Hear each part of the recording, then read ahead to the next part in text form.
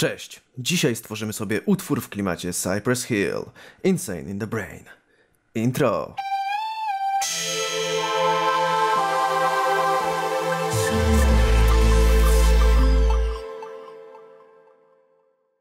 Dzień dobry moi drodzy, z tej strony Bonifacy, kłaniam się nisko i witam was w kolejnym odcinku serii Self-Made Beats. Moi drodzy, dzisiaj stworzymy sobie utwór w klimacie Cypress Hill Insane in the Brain, czyli klasyczny hip-hopowy kawałek. Dużo roboty tu nie będzie, bo kawałek jest stosunkowo prosty w swojej konstrukcji. W oryginale został skonstruowany z trzech e, sampli.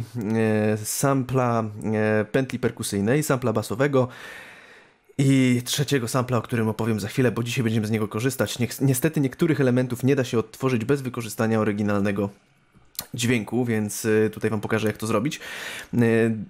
E, z czym, z czym dzisiaj działamy? W jakim tempie? E, jest to tempo 103 BPM, więc stosunkowo duże jak na, e, na rap, ale taki klasyczny rap, boom bapowy bardzo często oscylował w wyższych tempach, właśnie rzędu 100 e, do 105 BPMów. Mamy swing meter podkręcony do około 45% po to, żeby uzyskać taki klasyczny swing perkusyjny.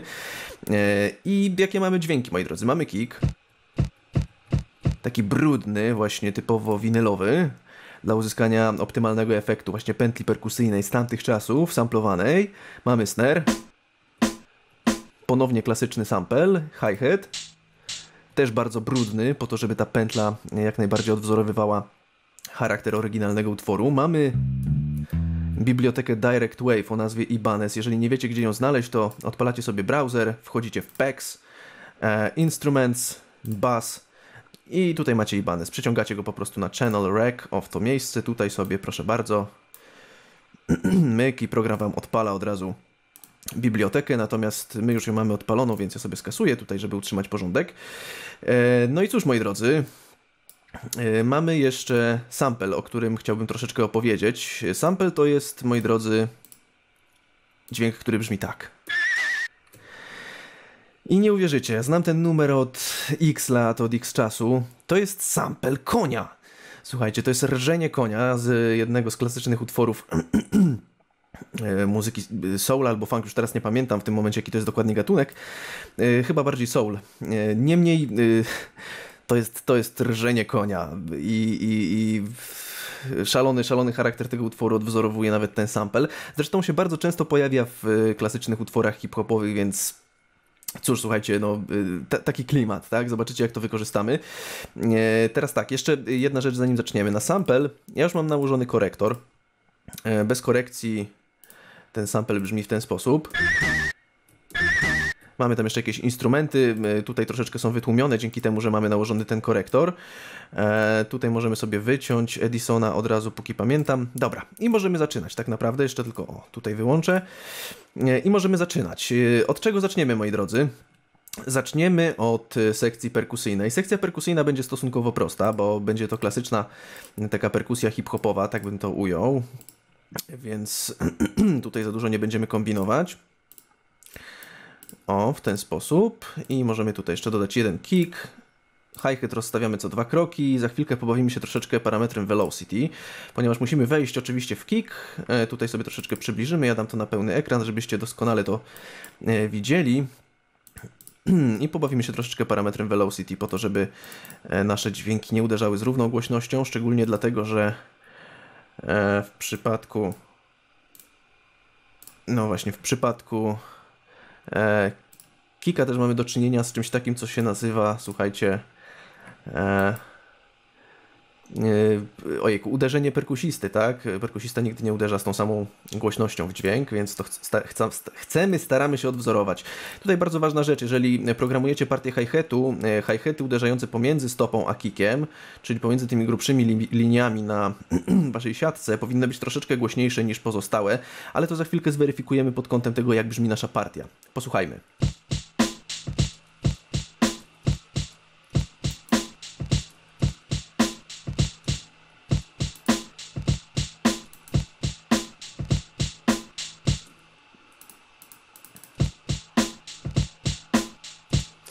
Nie wiem, mnie się wydaje, że lepiej to brzmi jak akcentujemy jednak mimo wszystko uderzenia werbla. Zdecydowanie. Dobra, i skopiujemy sobie tę partię na kolejną część pętli. Pętla jest dwutaktowa, nie za długa, e, bo tutaj też nie ma co kombinować. Przejdźmy teraz do basu, moi drodzy. Bas to będzie też bardzo prosta e, partia. Chcemy sprawiać wrażenie, żeby on, że on jest samplowany, więc pozwolimy sobie troszeczkę na e, manewrowanie w kwestii długości sampli, żeby one nie wybrzmiewały naturalnie, tak jakby to e, się działo na przykład z, pętl z pętlą, słuchajcie, basową, normalną. Tylko raczej będziemy to działać, e, będziemy to robić w ten sposób. Dajmy go troszeczkę głośniej.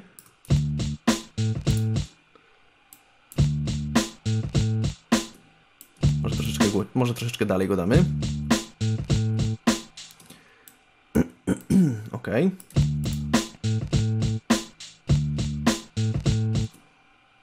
I dodamy coś od siebie, co? Nie będziemy tutaj tacy surowi. E, dodamy sobie jeden dźwięk basu na koniec, a tutaj dodamy jeszcze slide note.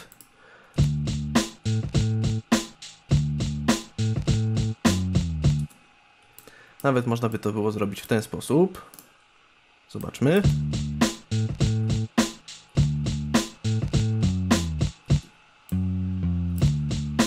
Nutkę niżej schodzimy, o pół tonu.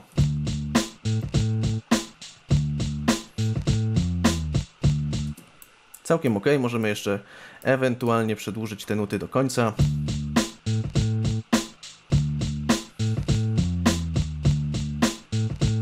No i super, i mamy pętlę basową. Tak naprawdę możemy jeszcze sprawdzić tylko jak ona zabrzmi oktawę niżej. Już za nisko moim zdaniem.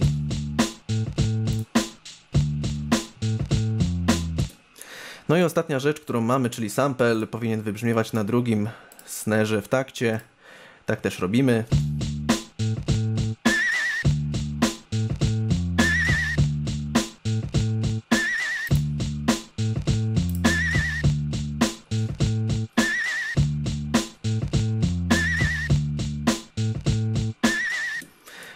Kreacji bitu to tak naprawdę, moi drodzy, wszystko. E, więc teraz myślę, że możemy przejść powoli do etapu miksu. Właściwie zajęło to 7 minut, więc e, śmiesznie mało, biorąc pod uwagę niektóre odcinki. E, ale co możemy tutaj zrobić, moi drodzy? Przede wszystkim chciałbym zadbać o brzmienie basu. Zanim, zanim zaczniemy w ogóle to wszystko rozkładać w panoramie, więc sobie go wysolujemy troszeczkę. Żeby sprawiać wrażenie, że on jest samplowany, odciąłbym najwyższe częstotliwości z tego basu.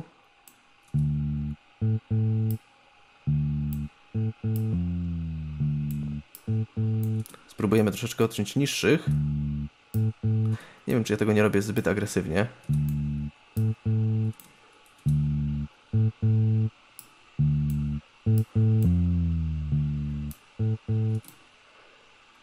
Odetniemy nieco, nieco częstotliwości basu po to, żeby właśnie sprawiać wrażenie, że coś trzeba było wyciąć przy samplowaniu.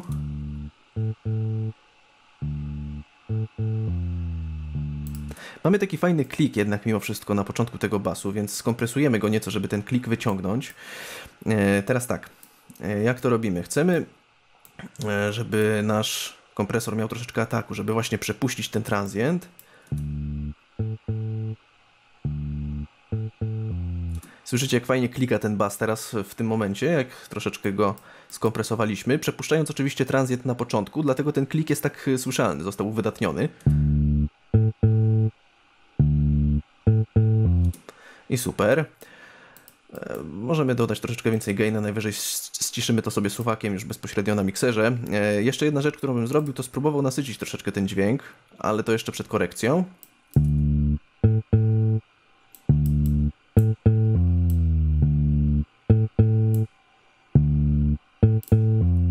To jeszcze nam dodatkowo uwydatnia ten klik.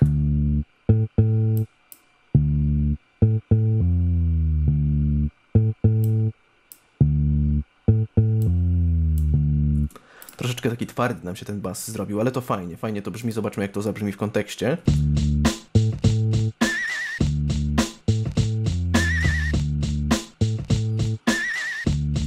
Myślę, że całkiem pozytywnie. Zobaczmy, czy jeszcze ten bas mogę odsunąć, czy on już był odsunięty. Troszeczkę jest odsunięty od siatki, więc to jest ok jak najbardziej. Dobra, słuchajcie, i teraz możemy troszeczkę pobawić się e, korekcją, może nie korekcją, zajmijmy się panoramą. Mamy troszeczkę więcej możliwości, bo nie korzystamy przede wszystkim z gotowej pętli perkusyjnej, tylko mamy osobne dźwięki. Postaramy się troszeczkę rozstawić w panoramie poszczególne elementy. Ja tutaj sobie może troszeczkę przybliżę, żebyście też widzieli e, nasze, nasze ścieżki na mikserze, nasze kanały.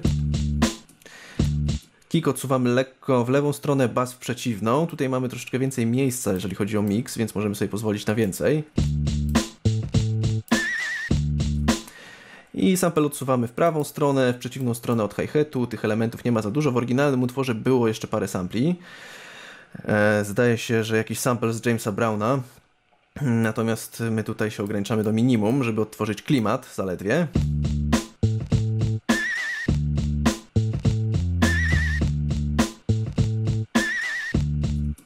Ok, e, i możemy teraz, słuchajcie, przejść do e, korekcji pozostałych elementów perkusji. To, co bym zrobił w przypadku kika, to pod, podbił najniższe częstotliwości, żeby on jednak mimo wszystko miał troszeczkę więcej takiego uderzenia.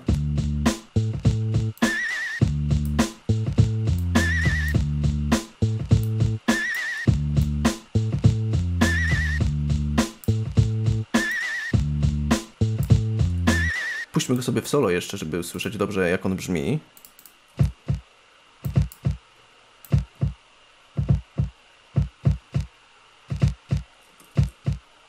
Spróbujemy troszeczkę uwydatnić brud tego sampla, podbijając wyższe częstotliwości. Być może gdzieś tutaj jeszcze będą fajne, zobaczmy. Tak, tu jest ten taki klik. Tutaj jest nawet bardziej słyszalny. Ale zastanawiam się, czy go nie wyciąć, bo wbrew pozorom on będzie troszeczkę przeszkadzał. Troszeczkę go podetnijmy.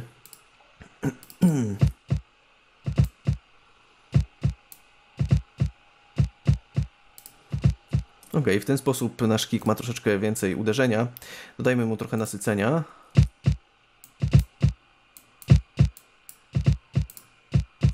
Ale też bez przesady. I spróbujmy go lekko skompresować.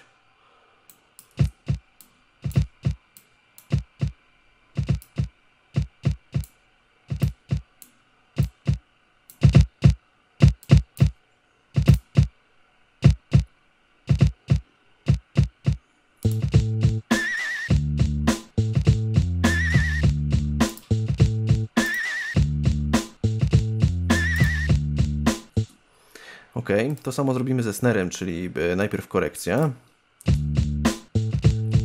Żeby odciąć najniższe częstotliwości, które nie są w nim potrzebne.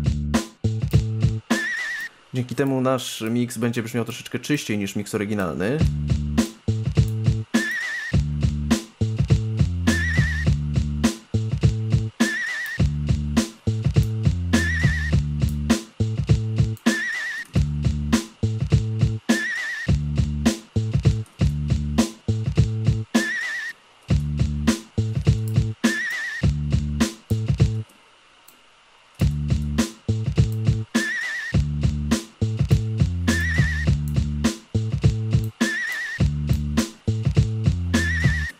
Odcinamy nieco najwyższych częstotliwości, odcinamy najniższe oczywiście, zostawiamy częstotliwości bazowe dla tego werbla, czyli tak zwany body i, i podbijamy okolice 5 kHz, gdzie jest taki charakterystyczny trzask e, werbla słyszalny. Ok, e, spróbujmy troszeczkę nasycić brzmienie.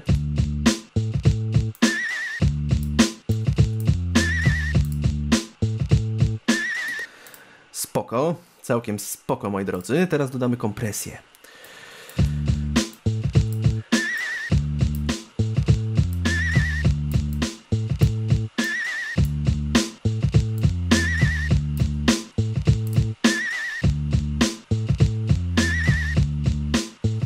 Też nie za dużo tej kompresji, bo nie chcemy przekompresować całego utworu. E, I tak myślę, że będzie stosunkowo mocno skompresowany w porównaniu do tego, co słyszymy w oryginalnym kawałku.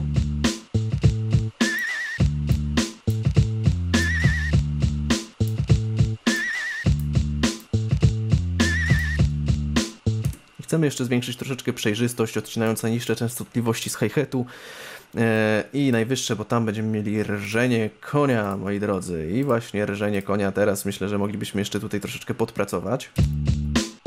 Między innymi dodając kompresję.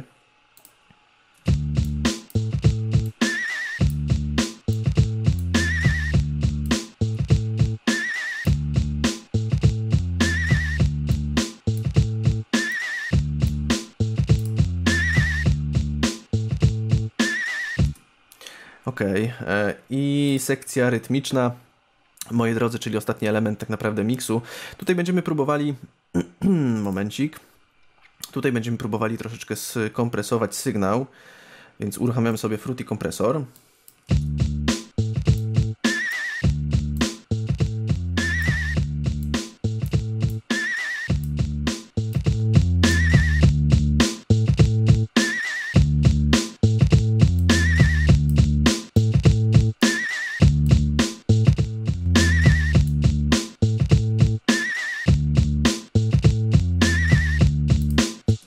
To zrobić maksymalnie delikatnie. Ściszmy troszeczkę bass i hi-hat, bo są ciągle za głośne.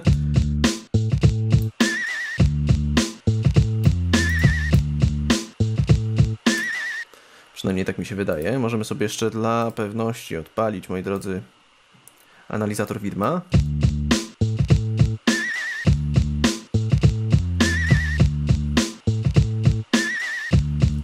Są troszeczkę za głośne, ale ja ciągle gdzieś tam z tyłu głowy pamiętam o tym i Myślę, że wy też powinniście, że na tym podkładzie teoretycznie powinien pojawić się jeszcze wokal, tak? E, miejsce dla wokalu, tak jak widać, mamy, bo wokal pojawia się mniej więcej w tych okolicach tu, aż tutaj do końca. Oczywiście jest też niżej, ale te niższe częstotliwości zwykle podlegają korekcji. E, więc to też bierzemy pod uwagę tutaj. Dobra, e, teraz jeszcze wracamy do sekcji rytmicznej na moment i spróbujemy dodać sobie re reverb, żeby troszeczkę wypełnić przestrzeń, bo ten bit jest bardzo suchy. E, multiplikację basu wyłączamy, możemy troszeczkę podkręcić decay, dajmy go w stereo, zmniejszmy troszeczkę rozmiar pokoju, więcej wyższych częstotliwości, odcinamy najniższe, klasycznie i zobaczmy jak to brzmi. Ok, ale spróbujmy troszeczkę wet skręcić w dół.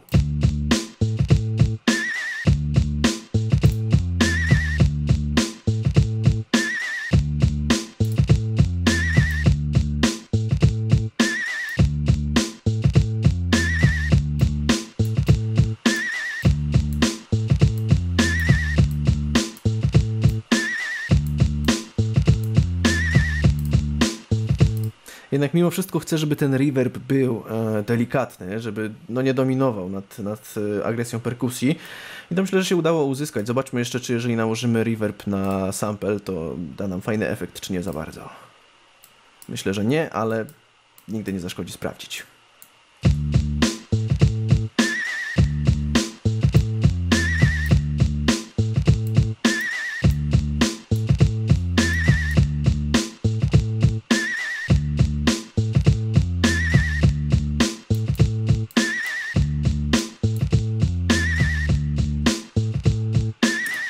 Bardzo delikatnie, taki bardzo subtelny ten reverb na samplu i myślę, że tak brzmi on całkiem ok.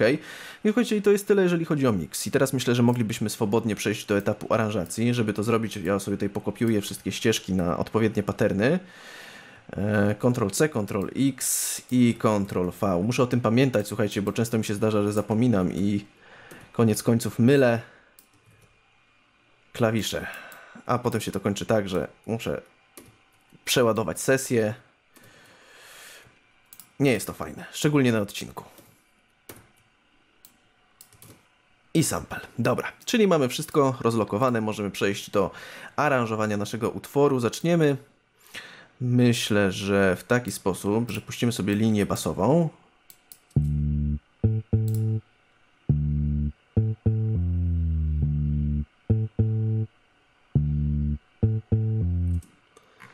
Dobra, e, dajmy sobie snapowanie na krok. I tutaj sobie wrzucimy sample. Tylko, że e, chcemy sample na końcu pętli po to, żeby on nas wprowadził fajnie na, e, na już na zwrotkę, tak? Na miejsce, gdzie będziemy mieli dobrze jest ustawione, ok. E, gdzie będziemy mieli między innymi nie snare, tylko hi-hat, gdzie będziemy mieli między innymi, słuchajcie, mm, już perkusję. I tutaj sample jeszcze. Ok. Przybliżymy się nieco, żeby się nie pomylić. No i świetnie. A tutaj myślę, że możemy już zmienić sobie snapowanie spokojnie na bar, będzie łatwiej. Myk. Myk. Myk.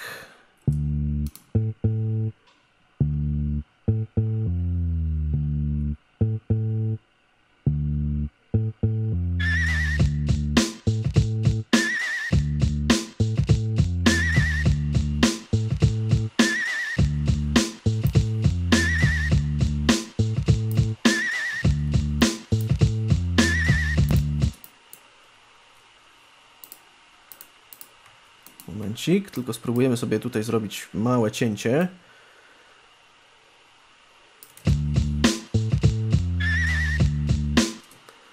Ok, i potraktujmy to jako takie wprowadzenie powiedzmy na e, refren. Moglibyśmy ewentualnie pokusić się o to, żeby odciąć jeszcze jeden takt.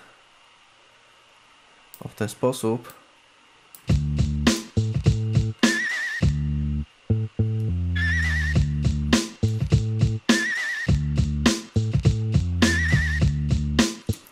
Tutaj za wiele się nie dzieje, bo w tym utworze tak naprawdę e, cały podkład to jest, e, to są, to są trzy sample zalupowane w kółko, one się powtarzają, więc to jest taki bardzo klasyczny hip-hopowy numer, gdzie jednak to MC prowadzi e, całą, całą zabawę, tak? czyli wokal, czyli to co, to, co jest rapowane konsekwentnie, natomiast podkład stanowi tylko i wyłącznie przyczynek, takie tło dla, dla rapera i w tym, w tym wypadku myślę, że no, odwzorowaliśmy bardzo fajnie ten utwór. Oczywiście można by było jeszcze nad nim popracować, żeby on miał większego kopa, e, ale na potrzeby filmu myślę, że jest to e, bardzo wystarczająca wskazówka dla Was, e, żeby, żeby tutaj się troszeczkę pobawić. I to tyle z mojej strony, jeżeli chodzi o ten odcinek Self-Made Beats. To był odcinek, w którym robiliśmy sobie utwór w stylu Cypress Hill, Insane in the Brain, moi drodzy.